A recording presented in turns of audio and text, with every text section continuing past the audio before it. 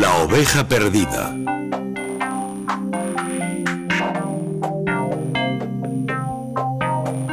En el nuevo milenio, la profunda crisis de la cultura occidental afecta especialmente a los jóvenes. Ellos no escapan al materialismo y al hedonismo propios de estos tiempos. Muchas veces crean modas o estilos de vida exóticos que son más bien formas de rechazo a los valores tradicionales y a una sociedad que no les proporciona modelos atractivos y coherentes con valores más elevados. Por el contrario, la sociedad de consumo intenta manipular a los jóvenes como consumidores pasivos. Para la comunidad, ellos son muchas veces solo un problema. Por ello, en situaciones económicas buenas o malas, los jóvenes son un sector de la sociedad que sufre muchas carencias. Son pocas las instituciones o personas que les ayudan para que lleguen a una plenitud integral como personas.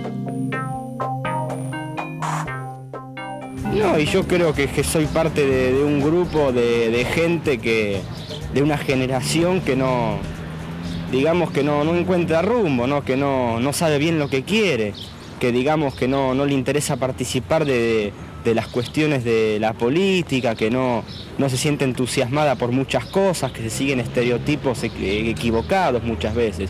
Espero poder empezar a trabajar, no creo por cómo está el país, pero bueno, no, no creo que se mejore.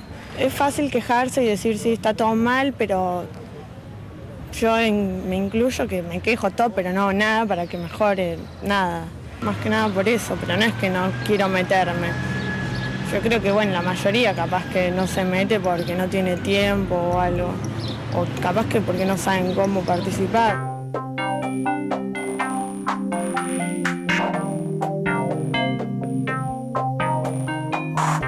En América del Sur, en Argentina, la juventud urbana sufre las consecuencias de un país marcado por profundas diferencias sociales. En Argentina, el 57,5% de la población no tiene lo indispensable para una vida digna.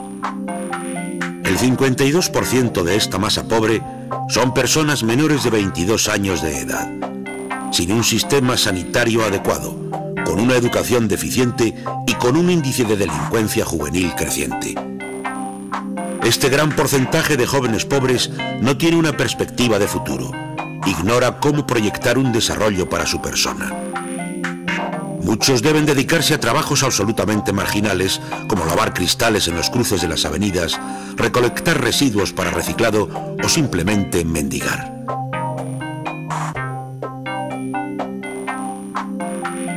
Algunos pueden acceder a trabajos temporales sin perspectivas de desarrollo o de aprendizaje de un oficio.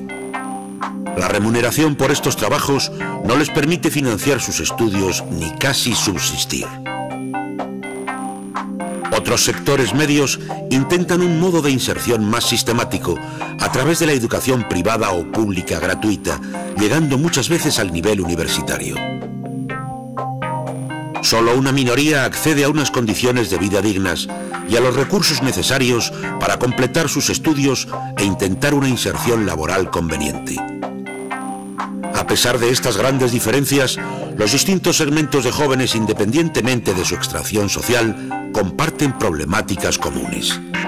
En general, se vive una gran incertidumbre por la inserción laboral y un rechazo y apatía frente a los problemas sociales. La juventud urbana lleva un estilo de vida marcado por una profusa vida nocturna que suele ser un modo de escapar a los controles sociales. La mayoría de los menores de edad consume alcohol ilegalmente y en cantidades excesivas. Están expuestos a situaciones de violencia con riesgo para sus vidas a causa de robos o riñas callejeras, solo atribuibles al uso de drogas o a la alta carga de tensión que generan los conflictos sociales. Bueno, en cuanto a la situación actual de nuestro país y lo que vemos un poco de la realidad de los jóvenes hoy acá en Argentina, fue muy fuerte el impacto eh, del año 2001, de diciembre del 2001. Creo que para todos de repente se evidenció una situación en Argentina que, era, que ya estaba latente, pero que se desató mucho más, tanta pobreza. Me parece que frente a esto también hay mucha variedad de jóvenes, algunos con muchas oportunidades, pocos con muchas oportunidades y muchos con muy pocas oportunidades. Y frente a esto también hay mucha incertidumbre en parte, me parece de parte de los jóvenes, que hay muchos que quieren hacer pero que no saben cómo o no saben qué hacer o con quién. Las misioneras de Cristo resucitado son una institución católica que trabaja para ayudar a los jóvenes. Su proyecto intenta acercarse a los distintos ambientes de jóvenes con propuestas que sean comprensibles y atractivas para ellos. Junto a las misioneras, un grupo de jóvenes son los protagonistas de este proyecto, pero ellos mismos son quienes primero han cambiado sus propias vidas. Así que bueno, fui al retiro, fue, era un retiro de Pentecostés y ahí encontré que había un montón de jóvenes y de chicos de mi edad que, que estaba muy entusiasmado con, con, no sé, con, Jesús o cómo hablaban de Jesús y de su vida y de, eh, no sé, cómo había cambiado conocer a Jesús en sus vidas y a mí eso me entusiasmó un montón y de esa manera seguí viniendo a otros retiros o otras jornadas que se fueron organizando eh, y así me fui enganchando. Ayuda a la Iglesia Necesitada, organización internacional que recibe donaciones de católicos de todo el mundo, se ha mostrado especialmente interesada en el trabajo de estas religiosas. Esta comunidad, Misioneras de Cristo Resucitado, es una de las características de esta nueva evangelización que en el continente latinoamericano se está dando. Es una comunidad joven que está evangelizando la juventud. Es una comunidad que procura ayudar ahí donde la universidad sufre sus problemas de droga, de hedonismo, de materialismo, donde muchas veces el joven no es involucrado en sus problemas. Es un movimiento joven para los jóvenes. Esta ayuda que ellas están realizando, que esta comunidad también, que también tiene la parte masculina, están realizando, es en varios aspectos. Buenos Aires es lo mismo que hoy podríamos hablar que ocurre en Londres, en París, o puede ocurrir también en Santiago de Chile. Son urbes, grandes ciudades con grandes problemas, donde la juventud a veces es la más afectada y donde de alguna manera esta comunidad quiere dar una respuesta siendo herramienta, no siendo la solución, sino siendo una herramienta para que la juventud obtenga una mayor fidelidad a sus valores propios como jóvenes. Eh, nuestra comunidad eh, trabaja fundamentalmente en proyectos eh, en favor de los jóvenes y de los más pobres. Entre los proyectos que tenemos hay mucha variedad. Todos los proyectos que hacemos trabajamos en conjunto hermanas, jóvenes y laicos y sacerdotes.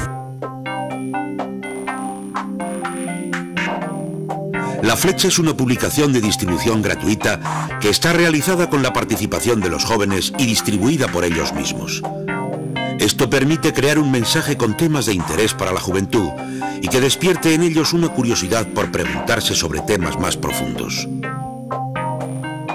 La flecha intenta estimular en los jóvenes universitarios la búsqueda de un proyecto de vida al servicio de los demás y con una visión trascendente. El proyecto La Flecha integra además sitios de internet, salones de chat y posteriormente reuniones para conocerse personalmente e intercambiar ideas queremos buscar un medio para llegar a los universitarios, más que nada de la UBA, que es la, Universidad Nacional de, Buenos Aires, eh, para eh, tratar temas que tengan que ver con eh, los jóvenes, la juventud, los problemas personales o las problemáticas o los cuestionamientos personales, pero también a nivel social o del país y del mundo, como las cosas que nos preocupan y cómo solucionarlas. El individualismo tan arraigado en la sociedad moderna influye profundamente en estos jóvenes que no ignoran las grandes dificultades que les esperan, aun con títulos universitarios, para poder desarrollarse económicamente. Una sociedad que parece premiar la inmoralidad tampoco es el estímulo adecuado para cambiar. Algunos jóvenes creen que es posible modificar esta estructura de valores, pero es un difícil trabajo personal y de grupo que requiere de mucho valor.